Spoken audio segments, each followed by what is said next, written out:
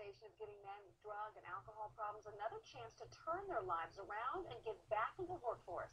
As Dave Bowden tells us, one clothing store is providing suits for the men to wear at their first job interview. It makes you feel so much better about yourself. It may only be a few pieces of cloth stitched together. It gives you that self-confidence you need to walk into a place knowing that, you know, hey, this is a job that I can do. This is a job that I deserve. A new suit can make all of the difference in the world to someone starting over. All this month, Men's Wearhouse is collecting donated suits and other dress clothes to give to men graduating from the Salvation Army's Crossroads program. It's strictly voluntary. It's got a 36 bed capacity.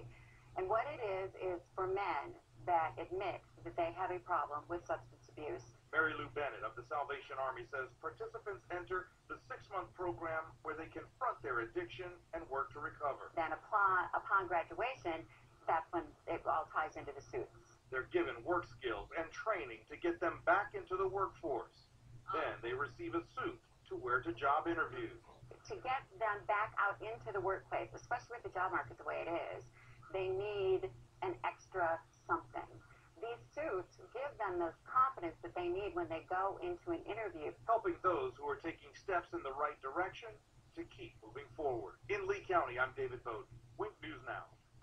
And you can donate suits at any Men's Wearhouse stores. The good news is any suit donated